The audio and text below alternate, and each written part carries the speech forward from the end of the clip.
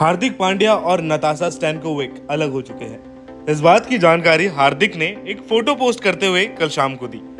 हार्दिक ने पोस्ट में लिखा कि हम चार साल बाद अलग हो रहे हैं और ये हमने दोनों ने मिलकर डिसाइड किया है। हमारा बेटा जो है, उसकी परवरिश हम दोनों मिलकर करेंगे और वो हमेशा हमारा सेंटर रहने वाला है। मैं बहुत खुश हूँ और आप लोगों से भी आग्रह करता हूँ कि प्लीज़ हमारे डिफ़िकल्ट और सेंसिटिव टाइम को समझें।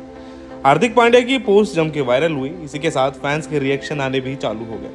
जी हाँ दोस्तों, ट्रेंड करते हुए नज़र आए हार्दिक पांड्या, जहाँ ट्विटर पर कई लोग कई मीम्स बना रहे हैं। वहीं एक इंसान लिखते हैं, after divorce, Hardik Pandya right now तुझे देखा तो ये जाना सनम प्लेज इन द बैकग्राउंड वहीं इतिहास गवाए कि मर्द ने हमेशा अपनी पसंदीदा औरत को गवाया है।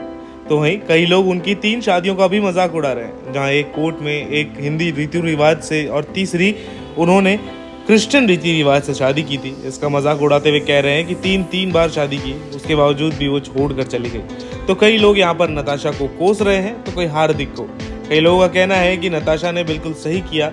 इस इंसान के साथ ऐसा ही होना चाहिए था। तो कई लोग हार्दिक को ये बात कह रहे हैं कि इतना कुछ किया नताशा के लिए, उसके बावजूद भी वो उन्हें छोड़कर चली गई। सबके अपनी अपनी राय है यहाँ पर।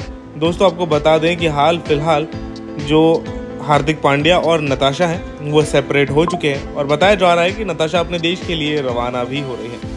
अभी तक उन्होंने डिसाइड नहीं किया है कि उनका बेटा किसके पास रहने वाला है। आने वाला वक्त ही बताएगा कि उनका बेटा किसके पास रहेगा। तब तक लिए आप हमें कमेंट करके बताएँ कि आपका क्या कहना है इसके बारे में। और भी अपडेट्स के लिए सब्सक्राइब करते चैनल देखो देखो।